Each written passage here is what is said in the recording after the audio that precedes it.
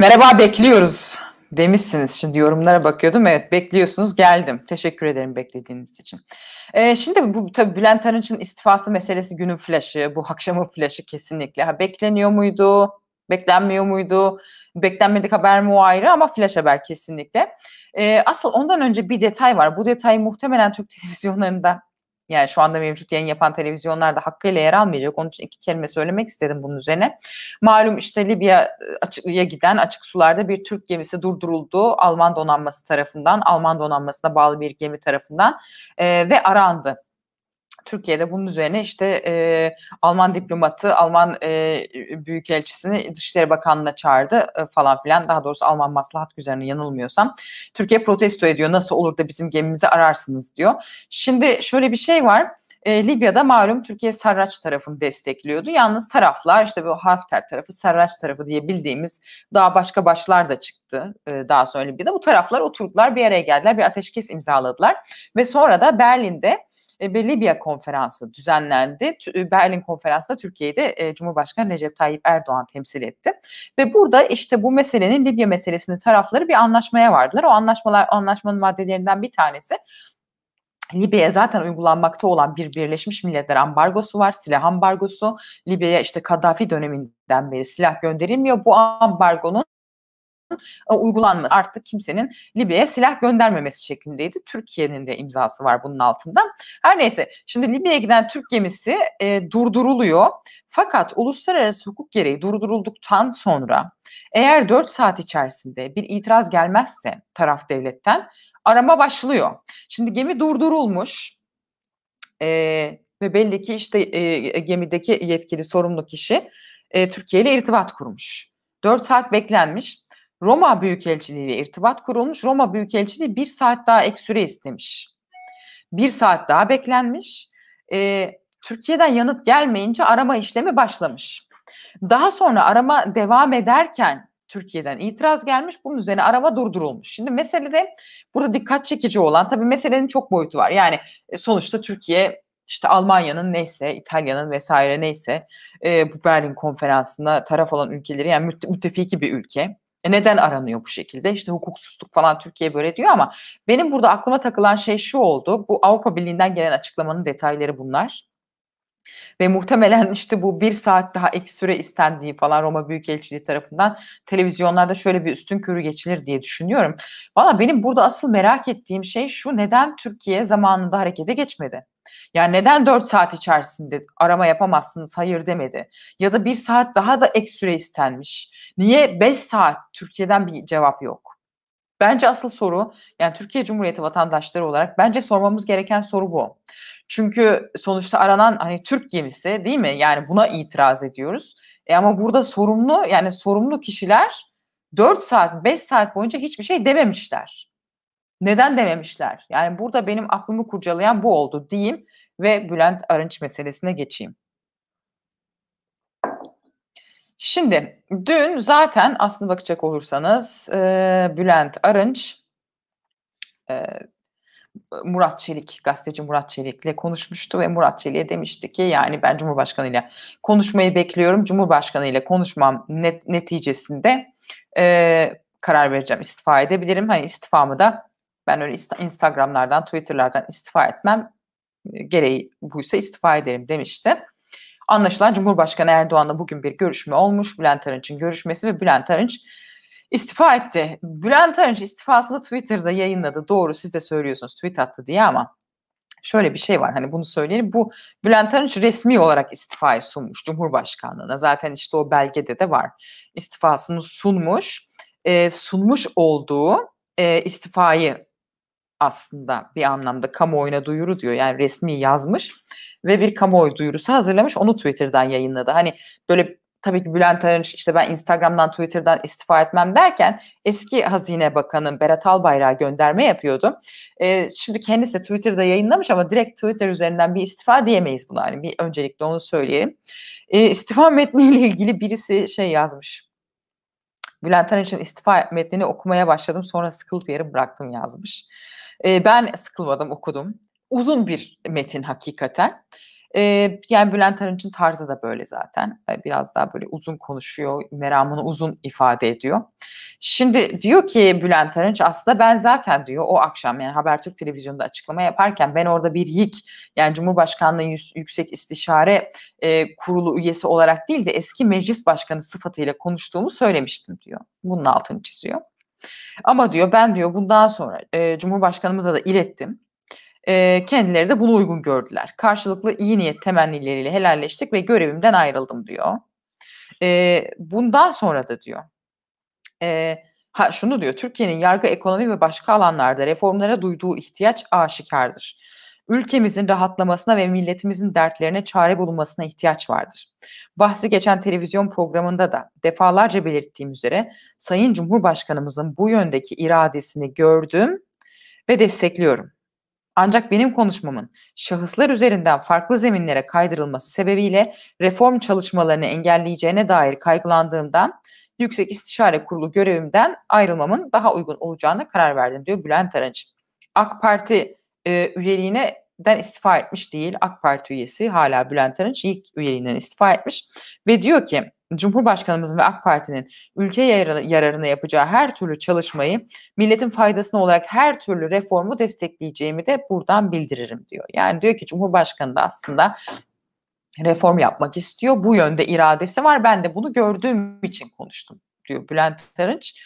E, ancak işte şunu da söylüyor. Tabii Bülent Arınç'ın açıklamaları hakikaten acayip yerlere çekildi. İşte Yasin Börü hatırlatıldı. Şu bu. Sen Yasin Börü'nün katilleriyle mi kol kola girmek istiyorsun dendi. Şu bu hakikaten böyle şahıslar üzerinden konuşuldu. Evet Bülent Arınç artık Yüksek İstişare Kurulu üyesi değil. Ama sonuçta ne olursa olsun Türkiye Büyük Millet Meclisi'nin eski başkanı sıfatıyla, eski bir siyasetçi sıfatıyla e, belki zaman zaman görüş belirtecektir. Belirtecek mi, belirtmeyecek mi onu göreceğiz aslında. Bu kısmını merak ediyorum ben. Şimdi Arınç'ın istifasına giden süreç hepimizin malumu. İşte Bülent Arınç Habertürk'te reform yanlısı açıklamalar yaptı. Osman Kavala'na dedi yazılı, Osman Kavala için yazılan iddianameyi okudum. E, utandım dedi. Bir hukukçu yazamaz böyle bir iddianameyi dedi. Bunun üzerine e, HSK ikinci başkanı Twitter üzerinden Bülent Arınç'a destek, e, Bülent Arınç'a bir cevap verdi. Böyle bir süreçte yaşandı. O, Selahattin Demirtaş'ın kitabını önerdi. Tutuksuz yargılama dedi. Esas esas olmalı. Ve Bülent Arınç'ın bu açıklamaları MHP cephesinden ciddi tepki çekti. Zaten bugün grup toplantısında da Devlet Bahçeli e, çok sert konuştu. Diyor ki e, şöyle dedi Devlet Bahçeli, Cumhurbaşkanlığı Yüksek İstişare Kurulu üyesi olan siyaset eskisi bir şahsın Kavala ve Demirtaş'a güzellemeler yapması çarpıklık ve ahmak, ahmaklıktır. Bülent Arınç nereye varmak, ne yapmak istiyorsun? diyor. Suça iştirak ediyorsun, ihanete yataklık yapıyorsun diyor. Bundan önce tabii Bahçeli'nin bu açıklamasından önce geçtiğimiz gün Cumhurbaşkanı Erdoğan da Arınç'a isim vermeden yanıt vermişti. Ee, ve Osman Kavala'nın işte Gezi'nin finansörü olduğunu söylemişti. Gezi'nin finansörleriyle demişti işte kol kola duramayız falan.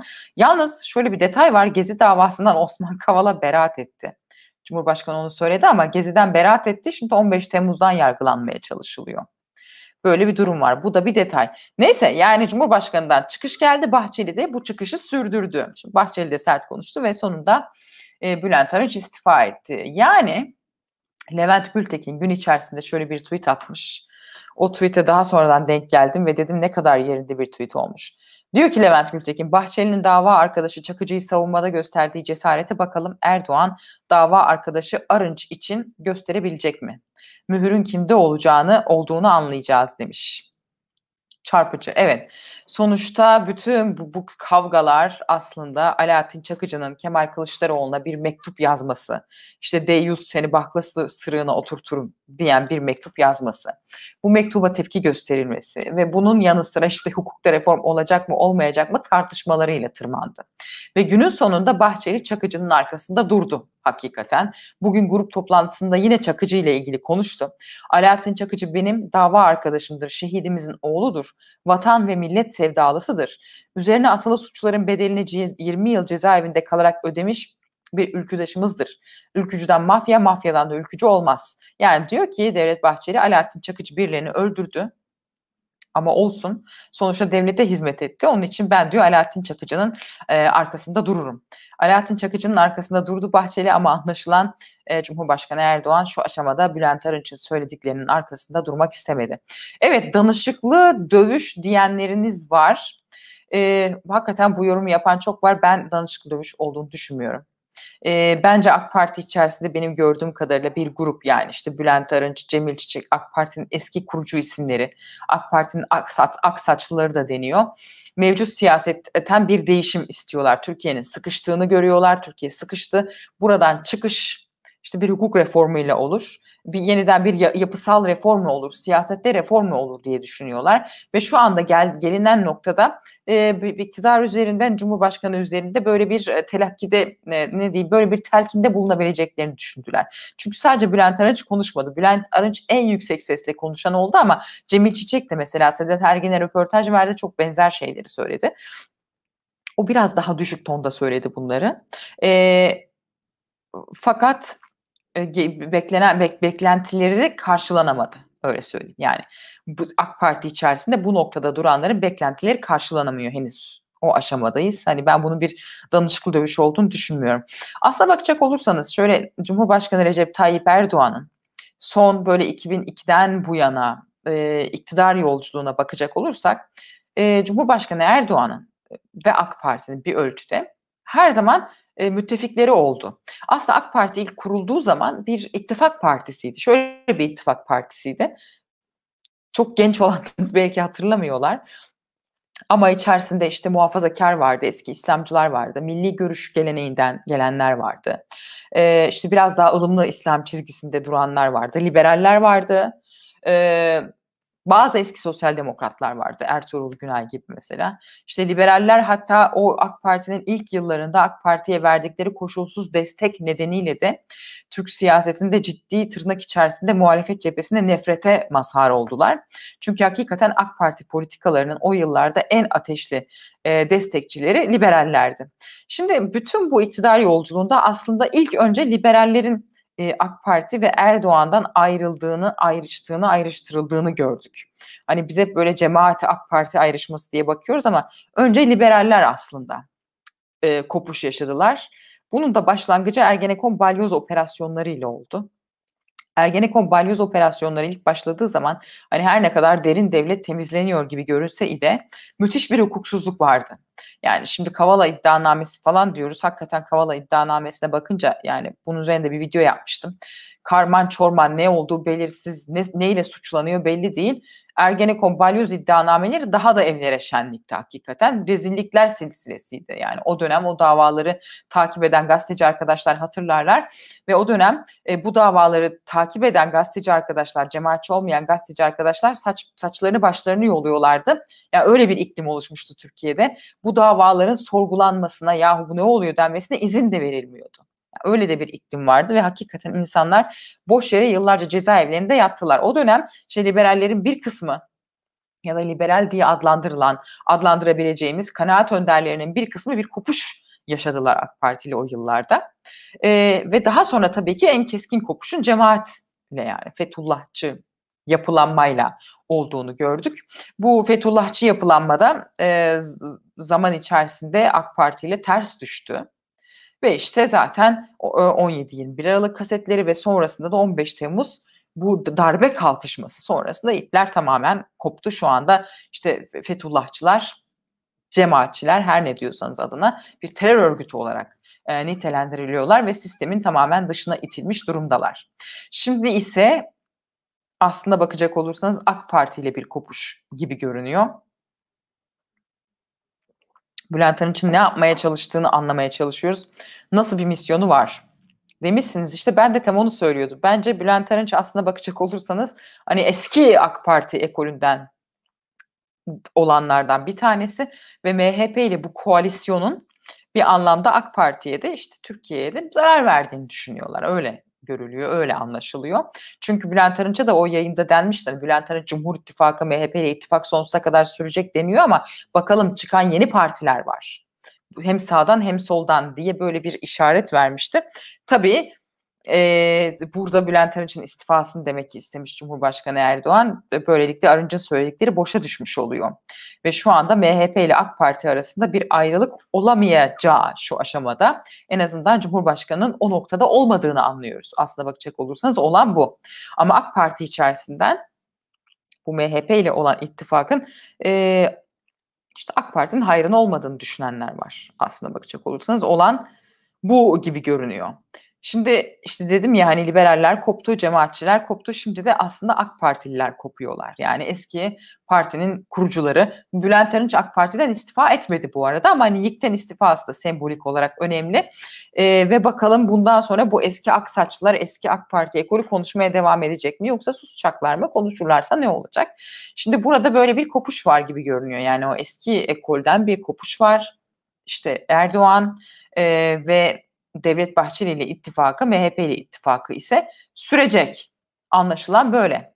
Bülent Arınç'ın yerine YİK'te kim gelecek diye bir soru var. Ama birisinin gelmesine zaten gerek var mı? Bence yok. Zaten hani Yüksek İstişare Kurulu biraz da şöyle yani eski ağabeylere hürmet hani onlara da bir makam mevki verelim diye kurulmuş bir kuruluş olduğu için hani biri gitti yerinin biriyle doldurulmasına gerek var mı? Yok anladığım kadarıyla. Yani herhalde yerine başka birisi e, gelmez.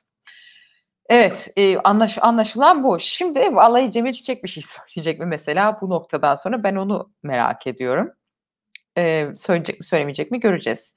Ha bundan sonra Devlet Bahçeli'nin eli evet kesinlikle e, güçlenmiş görünüyor. Çünkü burada Devlet Bahçeli'nin söylediği oldu. Devlet Bahçeli'nin eli güçlendi.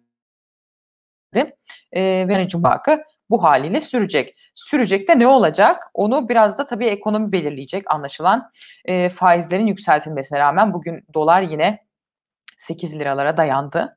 Şimdi hem yüksek faiz hem yüksek dolar devrine mi girdik?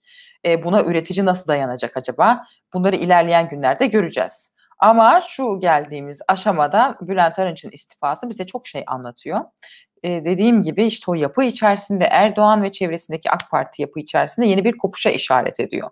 Hani bu yeni kopuşta yine işte yine bir bu, bunlar da çok söylendi. Kimi programlarda çok tartışıldı özellikle YouTube üzerinde. işte bir kopuş olur ve MHP ile AK Parti e, ipleri kopartır mı deniyordu. Tam tersi oldu. Cumhur İttifakı sürüyor. E, Erdoğan Bahçeli İttifakı devam ediyor. Ancak bu ittifaka razı olmayanlar kopuşu yaşayacak gibi görünüyor. Durum budur.